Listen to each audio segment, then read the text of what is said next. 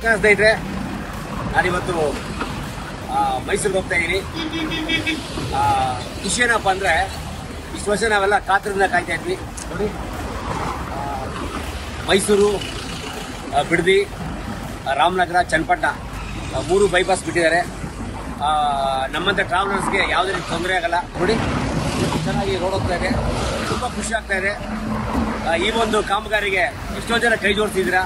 ರೈತರಾಗ್ಬೋದು, ಕಾರ್ಮಿಕರಾಗ್ಬೋದು ಎಲ್ರಿಗೂ ನನ್ನ ಕಡೆಯಿಂದ ಧನ್ಯವಾದ. ಜೊತೆಗೆ ಈ ಏನು ಕಾರಿಡಾರ್ ಪ್ರಾರಂಭವಾದಾಗಿಂದ ಎಲ್ಲರೂ ಒಬ್ಬರನ್ನೇ ಬೈತಾ ಇದ್ವಿ.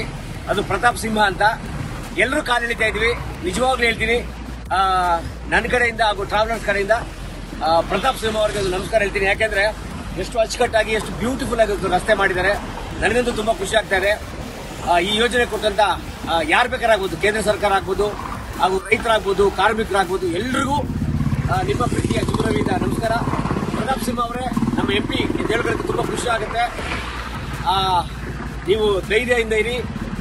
ರಸ್ತೆಯಲ್ಲಿ ಹೋಗೋ ಗಾಡಿಗೆ ಆಕ್ಸಿಡೆಂಟ್ ಆಗೋದು. ಅದೇ ರೀತಿಯಾಗಿ ನಿಮಗೆ ಎಷ್ಟೋ ಜನ ಕಾರ್ ಎಳಿತಾರೆ ಬೈತಾರೆ ಎಲ್ಲ ಮಾಡ್ತಾ ಇದ್ರು. ನಾವು ನೋಡ್ತಾ ಇದೀವಿ, ನಿಜವಾಗ್ಲೂ ಖುಷಿ ಆಗ್ತಾ ಇದೆ. ನಾವು ನಿಮ್ಮ ಜೊತೆ ಇರ್ತೀವಿ. ಪ್ರಯಾಣಿಕರಾಗ್ಬೋದು ಎಲ್ಲರೂ ನಿಮ್ಮ ಜೊತೆ ಇದೀವಿ. ಮತ್ತೊಮ್ಮೆ ನಮ್ಮ ಎಂ ಪಿ ಪ್ರತಾಪ್ ಸಿಂಹ ಅವರಿಗೆ ನಮಸ್ಕಾರ.